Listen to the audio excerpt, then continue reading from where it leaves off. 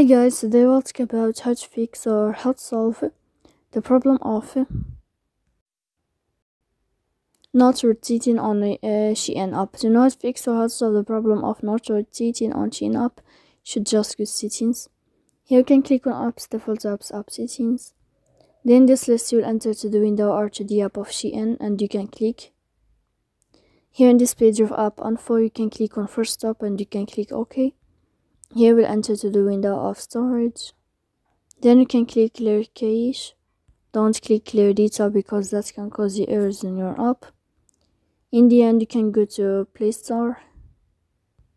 If you'll find here in this blue sign, then you can click to update your app. So please don't forget to support us by like and uh, subscribe. See you next time in another video and uh, thank you for your attention and you are watching